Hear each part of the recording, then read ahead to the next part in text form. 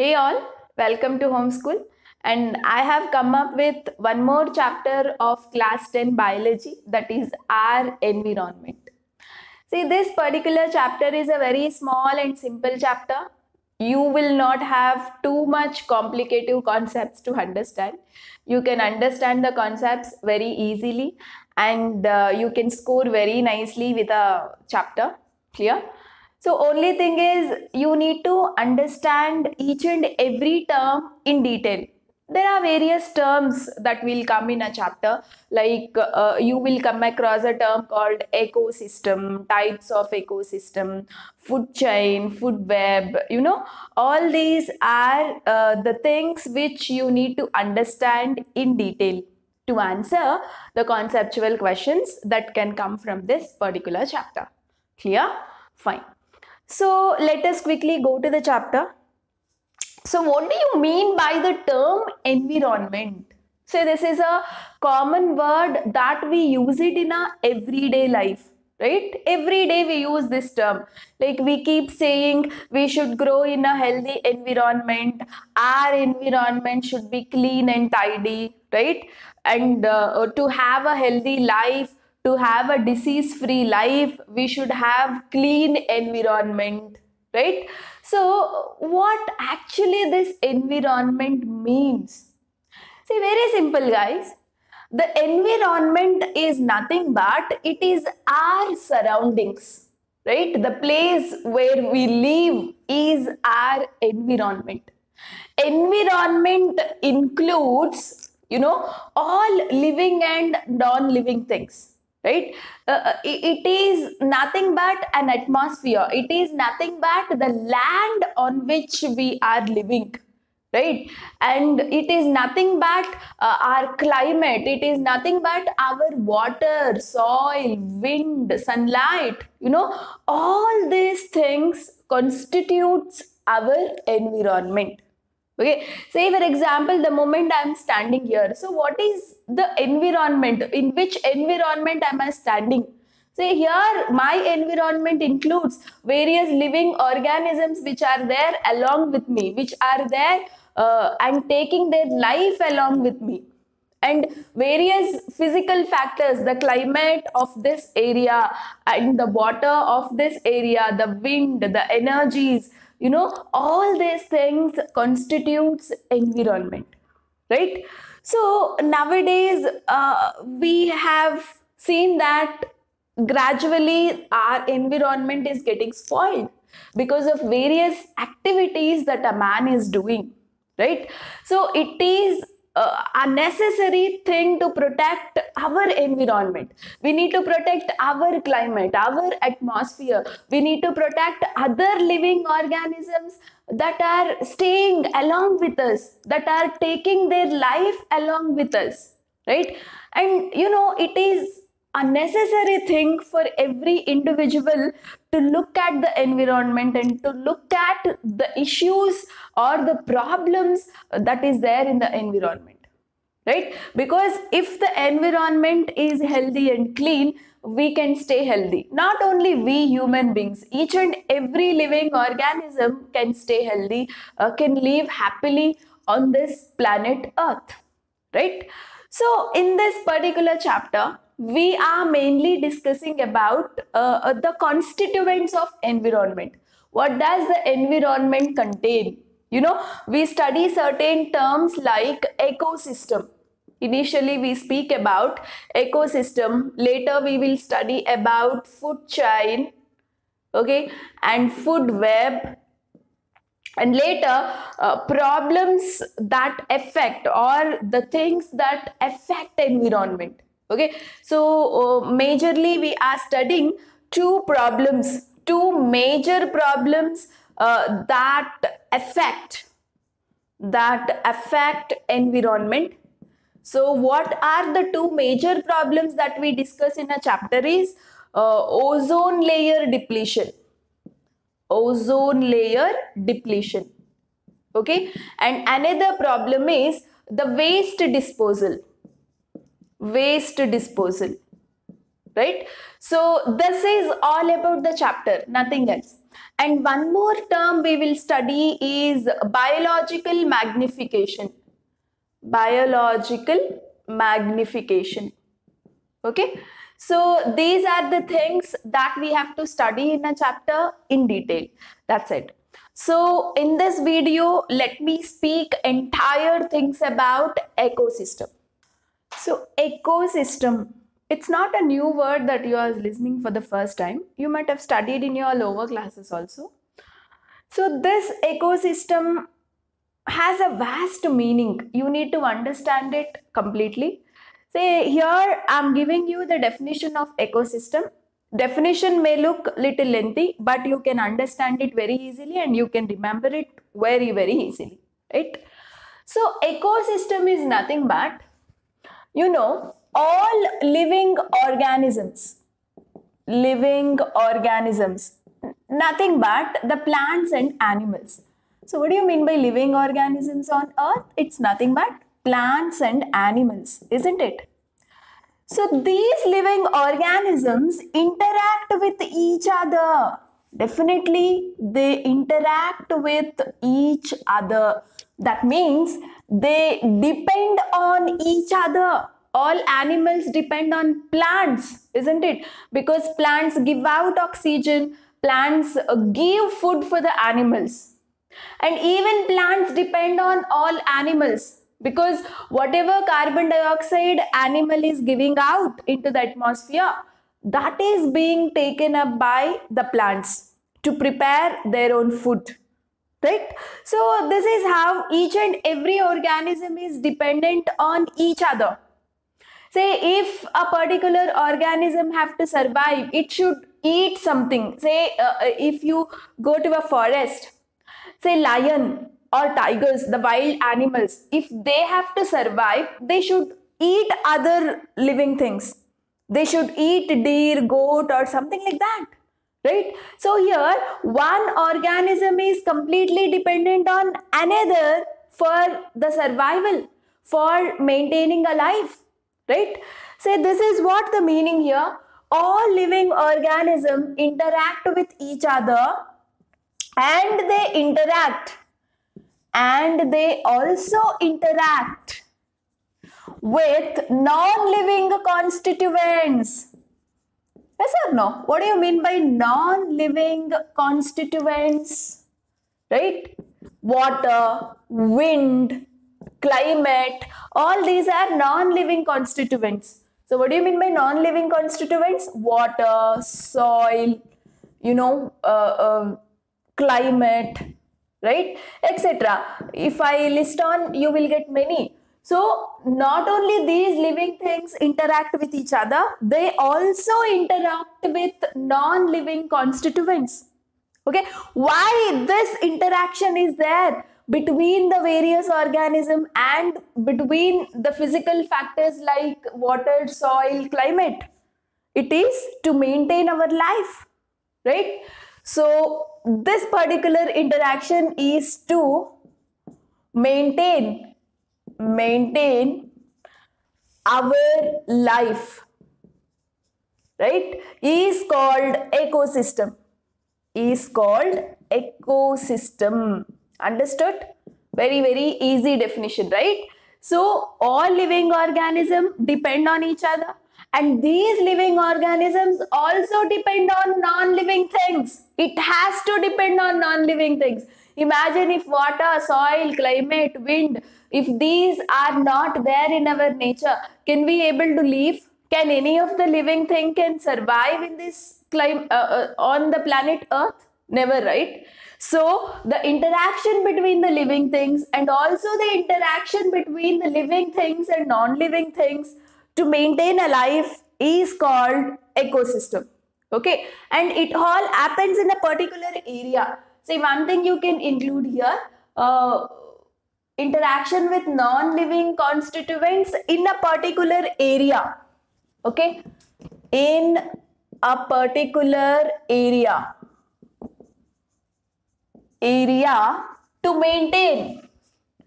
To maintain our life. Yeah then it will be a hundred percent uh, perfect definition right? So uh, this interaction between the living things and also between the non-living thing happens in a particular area on earth.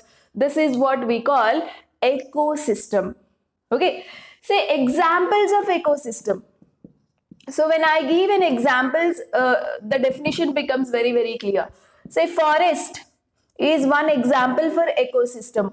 Pond lake rivers etc you know if you take a, a, a, area called forest forest is some area on a planet earth so what you find in a forest you will find various living organisms. You will find tigers elephants birds insects worms right? So all the living organisms there depend on each other. Say if tigers have to survive they should eat goat or deer or some other animals right say uh, uh, the plants are there. Plants completely depend on animals because when animals liberate carbon dioxide they have to take up right for synthesizing their own food.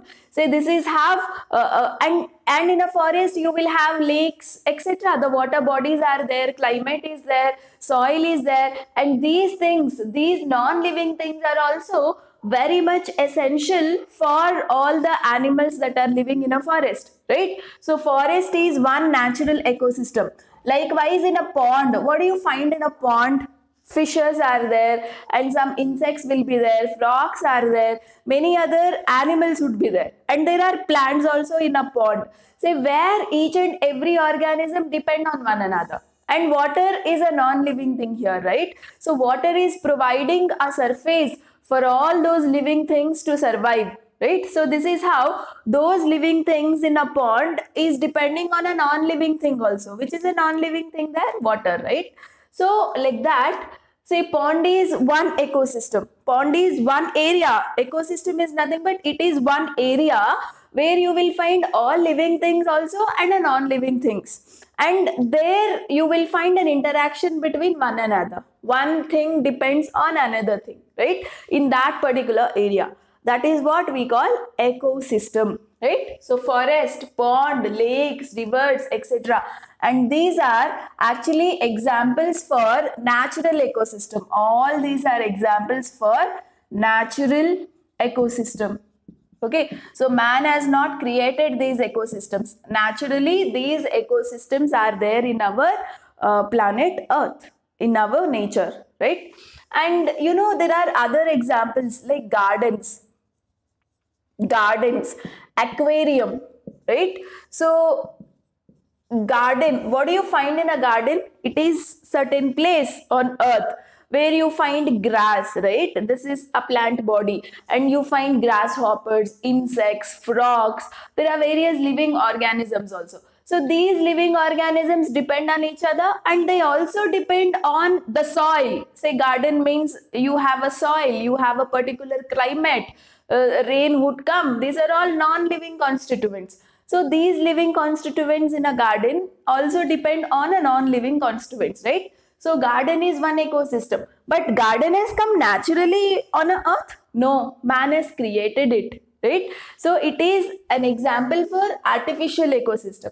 Likewise, aquarium. Say we find aquariums in various places, even in the houses, right? So what you find aquarium is a very small ecosystem very small area where you have living organisms different kinds of fishes right and you know you, you would be having certain uh, uh, real plants also you can keep in aquarium and uh, to have a natural look. And then you will have water you will have food for the fishes and everything. So here the living things uh, which is there in that small area dependent on non-living things also like water and everything right? So aquarium is also one small uh, ecosystem right? So gardens aquarium these are all examples for artificial ecosystem. Artificial ecosystems right? So try to remember the examples for natural ecosystem and artificial ecosystem. Artificial ecosystem in the sense man-made ecosystems. Man-made ecosystems right? So this is uh, the basic definition and examples for ecosystem now we will try to study the components of ecosystem in detail. The ecosystem has two components. So what are they? There are two components in ecosystem. They are nothing but the first one is abiotic components. Abiotic components. What do you mean by abiotic components? Say ecosystem has both living things and non-living things and they interact with each other, right? So all non-living constituents are called abiotic components. So all non-living constituents. So what do you mean by non-living constituents here? Say constituents like water, soil, right? Climate, climate, and then wind, etc. So these non-living constituents are called abiotic components of ecosystem. And the next one is biotic components. Biotic components. So what do you mean by biotic components? All living organisms. All living organisms are called biotic components. Okay, that means all plants and animals come under biotic components. Clear? So two components, abiotic in the sense all non-living constituents of ecosystem. Biotic components in the sense all living organisms of ecosystem are called biotic components. Now, these biotic components, okay, see biotic components in the sense all living organisms, isn't it? So these living organisms are divided, divided into three categories. They are again divided into three categories. They are, the first one is producers. Understood? You are getting my point, right? All biotic components, whatever are there, all plants and animals, you know, they are divided again into three categories. The first category is producers. Second category is consumers. And the third category is decomposers. Decomposers. Clear? So now let us discuss each and every category in detail. Coming to the producers. So what do you mean by producers here? Producers in the sense all plants come under this categories. Okay, all plants. You know, they synthesize their own food. The living things, whichever can synthesize their own food, are called as producers. So, in living things which can synthesize their own food, definitely all plant varieties right? So all plants are called as producers here.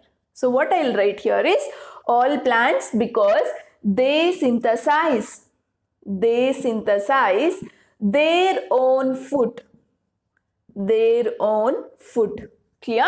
So this is about producers. So the moment I say producers, it means all plant bodies because producers are the uh, things which can prepare their own food. Okay. Now coming to the next variety of biotic component that is consumers. So what do you mean by consumers here? Consumers are nothing but all animals all animals which directly or indirectly depend on producers. Directly or indirectly depend on producers.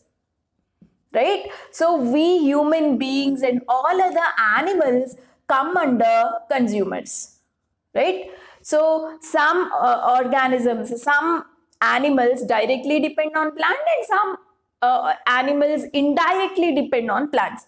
So in one or the other way, any organism which is depending on a producer that is on plant, then they are called as consumers. okay, the name itself says consumers. We consume. We consume what? Plants. Directly or indirectly. Right?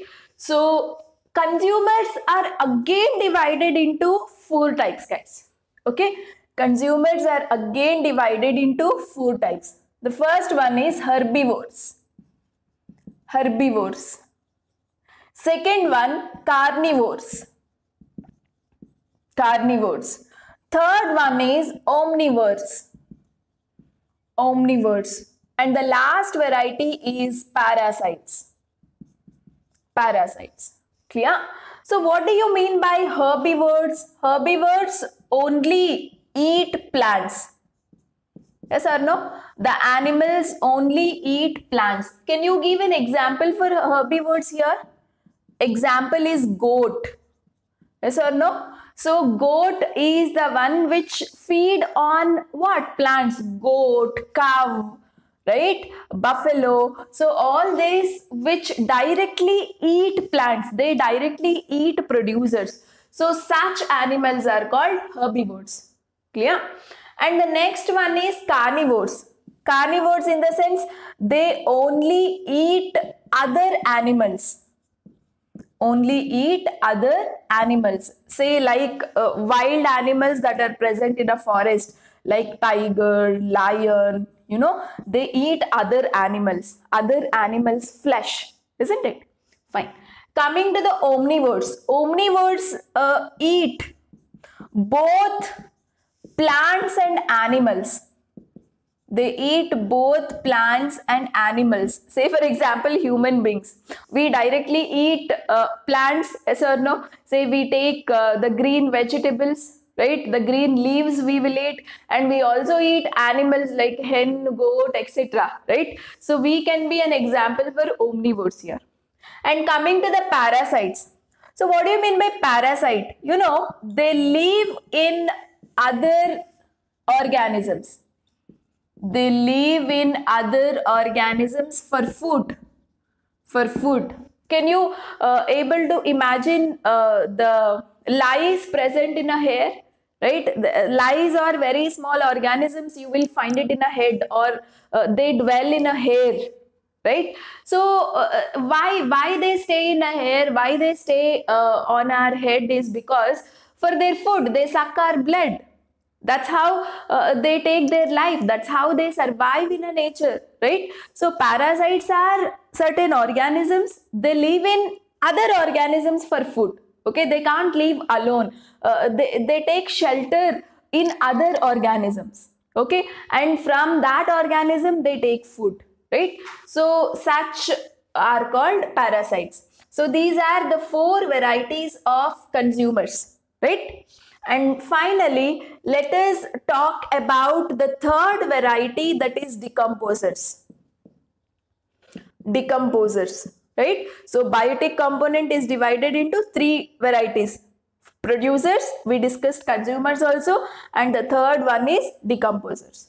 So what do you mean by decomposers? First, let me give an example for decomposers that is bacteria. Bacteria and fungi. Say, uh, can you give an answer like what happens when an animal or a plant body dies? Say one or the other day, each and every animal or each and every plant have to die? Yes or no? So after the death of an animal, what happens for the body? The body undergoes decomposition in a soil right? Say once a, a, animal dies we bury in a soil. What happens is in a soil we will have bacteria and fungi. What this bacteria and fungi does is these guys actually break. They break complex organic substances the dead bodies will have complex organic substances. Every animal is made up of organic compound, isn't it? And the organic compounds are very large, right? They are big molecules. They are not small chemical molecules. They are big chemical molecules.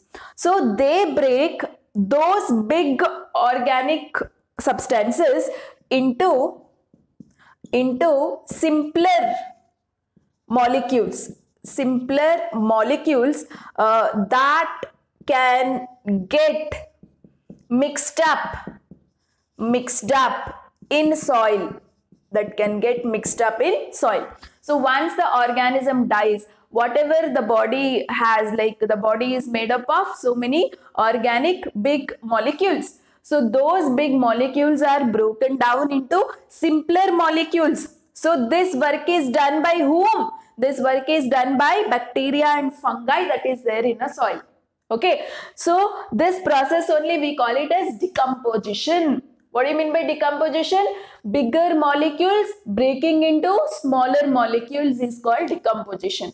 So that decomposition occurs once uh, you got the smaller molecules out of bigger molecules. These smaller inorganic molecules will get mixed up in a soil. Okay, uh, and that actually increases the fertility of a soil. So the plants which are there in that soil will take up those substances as a nutrients. Got to know? See, the body is getting recycled here, right? So when an organism dies, naturally, if it can undergo decomposition, uh, those smaller molecules that are getting mixed with a soil actually increases the quality of a soil, increases the fertility of a soil, which again is beneficial for plants that are living in that area. Clear? So such process such decomposition is carried out by the so called organisms decomposers. Example is bacteria and fungi right? So this is all about uh, the detailed explanation on the components of ecosystem right? So all you have to remember is two components abiotic and biotic abiotic in the sense all non-living constituents.